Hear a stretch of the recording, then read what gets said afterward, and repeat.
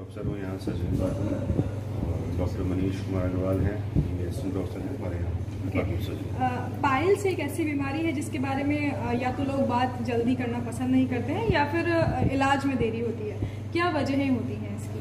देखिए पहली चीज़ तो ये कि बहुत कॉमन प्रॉब्लम है ये। और अब हर दूसरे या तीसरे व्यक्ति में किसी न किसी टाइम इससे रिलेटेड लक्षण आ सकते हैं।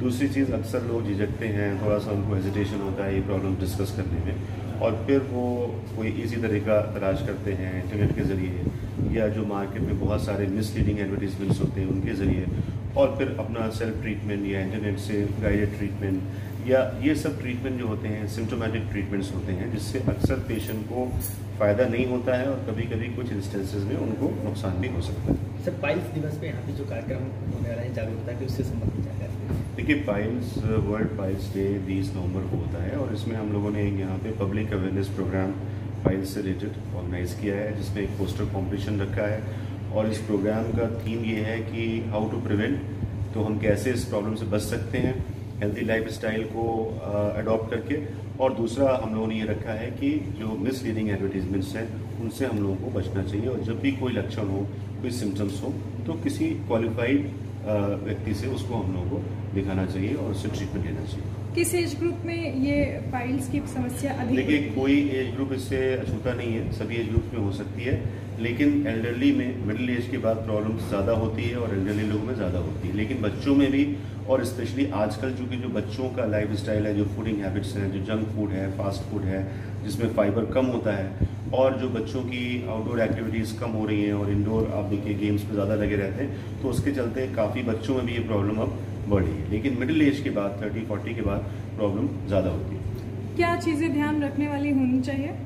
देखिए पहली चीज़ लाइफ स्टाइल मॉडिफिकेशन में ये आती है कि जो हमारा खाना है डायरेक्टली रिलेटेड होता है। खाने में फाइबर और फ्लूड इन दो चीज़ों का होना बहुत ज़रूरी है, ठीक क्वांटिटी में। तो हमें अपने फ्लूड की मात्रा को और फाइबर जो कि सारी वेजिटेबल्स में सैलड्स में और आपका आटे की चोकर में, जो फलों का हम लोग छिलका निकाल देते हैं जूस में, उन चीज़ों में होती है। तो फाइबर का ध्यान रखें फ्लूड का ध्यान रखें, ये दोनों चीज़ें ज़्यादा हों। फिर जो फ़िज़िकल एक्टिविटी है हमारी, किसी भी फॉर्म में हो, चाहे वॉकिंग की फॉर्म में हो साइकिलिंग की फॉर्म में हो जॉगिंग की फॉर्म में हो, हम उसको बढ़ाएँ। तीसरी चीज़ ये है कि जो हमारी टॉयलेट हैबिट्स हैं उसको हम इम्प्रूव करें और लोग मोबाइल लेके बहुत देर तक बैठते हैं या न्यूज़पेपर या कोई मैगजीन तो वो अवॉइड करना चाहिए। तो ये सब चीज़ें, यानी आपका फ्लूड फाइबर और फिटनेस इसके, इससे हम काफ़ी हद तक इस प्रॉब्लम से बच सकते हैं।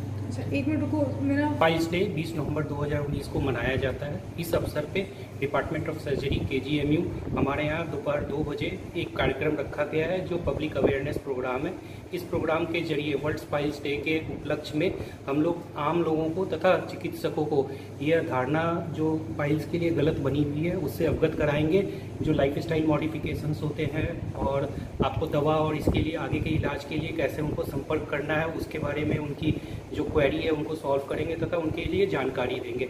इसके लिए जो प्रमुख वक्ता है कुछ, जो उनके बारे में देंगे तथा हम लोगों ने एक पोस्टर कंपटीशन किया हुआ है, जिसमें undergraduate postgraduate student जो के के हैं plus nursing and paramedical students जो हैं, उनको पार्टिसिपेट करने के लिए खोला गया है। उनके लगभग 50 पोस्टर हमारे पास आ रहे हैं। जिनके हर एक कैटेगरी के लिए अलग अलग प्राइजेज रखे हैं जजेज रखे हैं। इस माध्यम से हमें undergraduate postgraduate nursing student paramedical staff जो स्टूडेंट्स हैं, उनके बीच में भी इसकी बीमारी के लिए अवेयरनेस के लिए करेंगे। साथ में आम जनता के लिए भी ये खुला हुआ है, जिसमें आम जनता आके जो ये प्रमुख इसके कारण है और जो इसके इलाज है, जिससे वो सही समय पर सही इलाज प्राप्त कर सके, जिससे ये बीमारी कोई कॉम्प्लिकेशन या फ्यूचर में उनको इससे चलते कोई परेशानी हो। ठीक है थैंक यू